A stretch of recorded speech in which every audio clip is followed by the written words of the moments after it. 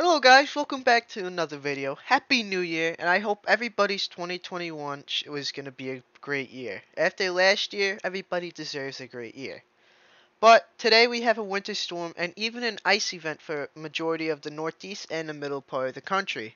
And here in this dark purple color is an ice storm warning, where there's going to be a couple probabilities of power outages and possibly even slick roads due to the heavy amount of ice that is coming. In this lighter shade of purple is winter weather advisories that stretch from all the way from Iowa all the way back up into the northeast. And in this pink area is winter storm warnings where you could exceed 6 inches of snow. Backed by Arkansas, Iowa, and Illinois all the way back up into Vermont, New Hampshire, and Maine.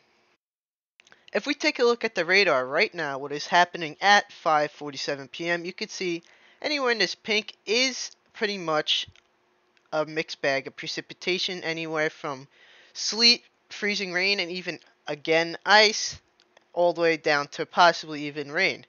Now we have on a more frontal boundary here, you have snow that could be even mixed precipitation the closer you get here due to the radar not picking it up as well, but you still have pretty heavy bands right up in here by Syracuse, just about to get into Utica and making its way into Albany. Now, if you take a look at this, back into the coastal parts of Connecticut, you can see that it's just about ready to change with rain. It's around 36, 34 degrees, but so far this storm has been being a little bit colder than expected. Now keep this in mind for uh, the Sunday storm. This could be something to keep in mind in my opinion. Now if you go back into the middle part of the country, Michigan, you are still heavily snowing in the northern part of Michigan. But if you get your way down into the southern and central part of Michigan, you are having a mixed bag of precipitation anywhere from snow all the way down to freezing rain and sleet here. Even into parts of Canada and into, again, parts of Buffalo. If we take a close look into Iowa and Illinois, it's the snow is starting to wrap up, but as the cold air is starting to be drawn back down due to the counterclockwise as a system, it's bringing down more cold air. You can see Chicago's back in the snow, even though it was having a mixed bag of precipitation before. And back up by Milwaukee and northern Illinois, it is starting to heavily snow due to the quick transition, and you could quick pick up an inch or two, maybe more, depending how heavy the bands get. And if we take an out expansion look, you can see that the rain is being drawn up and the precipitation is being drawn up from the south, all the way up from the Gulf when you have a low pressure system right here just by Indiana, Ohio, and Kentucky, and all the moisture is being drawn up off the ocean here. Once again, you have your high pressure all the way up here by just sitting almost north of Maine right here. You can tell by the counterclockwise spin right here, and then you can see it starts to circulate around, and then over here it goes back up. Now, with this high pressure here, you have the cold air happening to come down and leak down from Canada. If this high pressure were to stay, this snow would probably stay all snow just by Albany, but the high pressure system is going to evacuate here, and you'll see that in a moment. Right now we have the H triple R up model up. You can see the high pressure starts to evacuate, and it, for some reason it already has the high pressure system already off the coast of Maine, but I do think it's still up here. Now, still, the HRRR does show the high pressure moving out of here, which leads the warm air to come up into the northeast. But besides the most northern parts of New York and Maine and New Hampshire, Vermont, you will stay all snow in that area, but otherwise you will most likely change over to rain in other areas. By 7 p.m. tonight, you could see that the snow starts to expand more into the northeast as more places change from snow and mixed precipitation to rain along the coast. And on the backside, again, it starts to change back to snow. And back by 11 p.m., it is snowing pretty heavily in parts of the Northeast. You still have that rain and snow line just south of Boston, but as you get closer to the coast, it goes more north. So Boston is pretty much almost all rain at this point, but you still have mixed precipitation into central New York and parts of northern PA. And as the storm makes its way toward the east, you have once again Rain changing to snow, possibly even to heavy snow in parts of Illinois, Michigan, Indiana, and Wisconsin here. As you continue, you can see the warm air starts to win over as the storm starts to make its way into central New York. Boston is definitely all rain, and parts of Buffalo and Rochester and Syracuse are all rain as well. And the rain and snow line is very north of where you would want it to be if you want snow in central New York. And as we finish off here, you can see as a low pressure system sits in northern New York, it transfers its energy off to the coast and starts to go under some intensification, causing Maine at large to get more heavier bands in snow. Northern New Hampshire and Vermont change over the snow if they were rain at times, and then all of Vermont and New Hampshire change over the snow as well. This is the HRRR snow total from, let's say, 5, 6 p.m. to now. Well, excuse me, 5 p.m. until 10 a.m. Tomorrow, you can see that it does put down a couple more inches back over here, back by Illinois, Iowa, and parts of Michigan and uh, Wisconsin due to the heavy banding and a quick changeover. At most, you could see four, maybe, maybe five inches, depending how heavy it comes down. You don't have that long of a period. Now, once you get north of Albany and Boston here, this is where your jackpot of snow is going to be. Anywhere that could stretch from 4 to maybe 5 inches of snow.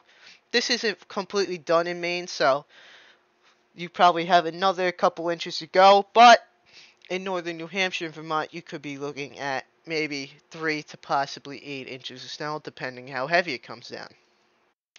If we take a look at the NAM right now, you can see it does show the high pressure once again off of Maine. It quickly transfers the high pressure from north of Maine into the ocean and it quickly evacuates. And then it pretty much straddles just south of Nova Scotia. That's not where you want it to be to drain cold air down into the northeast. But you, uh, once again, you do have rain changing to snow on the backside of the system by Michigan all the way into Illinois. And then it's pretty much the same thing. It's a HRRR, but it is warmer for parts of northern New York and Vermont here.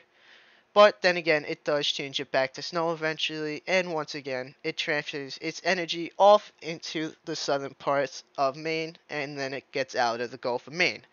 Now, after this system, we have another system that is going to come up and affect the Northeast, which could drop even more snow. Now, on the latest runs, it looks like has been it's been wanting to start out a little bit colder, causing maybe a few flakes down in New York City, and then all the way back down just north of Maryland, pretty much. Now, when I said keep this in mind that the storm has been starting off colder, maybe since the storm has been starting out colder, the models have been underestimating the cold air. So if that's true, maybe the rain and snow line starts off here.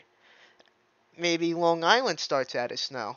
Maybe possibly Washington starts out of snow, but that's a little bit far-fetched, but still, it's something to keep in mind. Maybe the models are underestimating the cold air. After all, this high pressure isn't off the coast of Maine, it's actually up just north of Maine here. So it does drag down a little bit of cold air, and maybe the models are underestimating the cold air once again, or possibly even overestimating the cold air. But no matter what, the coast does transition over to rain, but maybe on the backside the coast could once again go back to snow. Depending how tight the low pressure system gets, it could drag down more cold air, but then again, we don't really have much cold air. If we did have cold air during the system, we could have looked at a major snowstorm event from parts of Boston all the way down into Washington and Long Island and New York City, and even into possibly Philadelphia. But that's pretty much it from the NAM, and it does try to bomb out the system just off the coast of Nantucket. And once again, the Gulf in the ocean of Gulf of Maine, you could have pretty heavy snowfall here in parts of Maine, New Hampshire, even into parts of the Boston metro, depending how cold it gets. Now, if we look at the total snowfall here, if you rewind this a bit, this is the total snowfall from the NAM that predict from the the storm that's happening today, New Year's Day, it could I think it really does overestimate the snowfall. It already has overestimated snowfall in parts of Pennsylvania and parts of Michigan, so I would subtract that and give you a maybe an inch or two at most. But as you can see, once the storm comes in, it drops a, a decent amount of snowfall, especially here.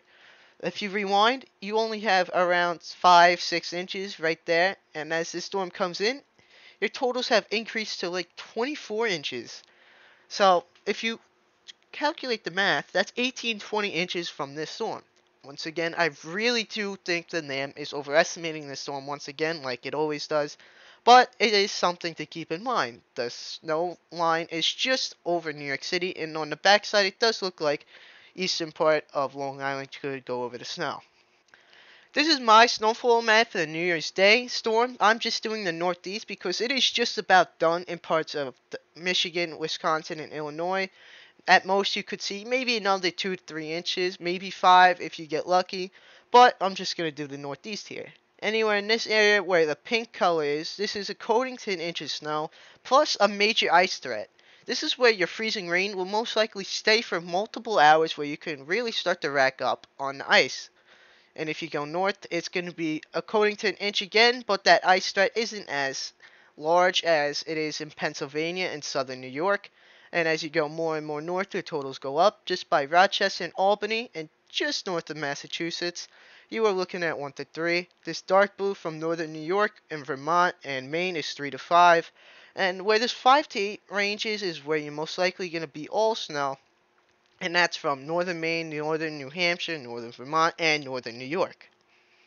Now, this is your system for Sunday going into Monday, where you have a possible nor'easter forming and could drop a couple inches of snow in parts of the area. This is all rain in a screen that stretches from the easternmost points of Massachusetts, Rhode Island, possibly even parts of Connecticut, easternmost parts of Long Island, and all the way down into the coast of New Jersey and Delaware. Now, in this pink, this is a possibility where you could start out as snow and then go through rain, and possibly even end as snow. That stretches just in parts of maybe Washington, Philadelphia, New York, and even into uh, Boston itself. Now, this is definitely not definite. This was most likely changed, and then once again, this high pressure does move out, but it does stay a little bit longer than the winter storm that we're having right now.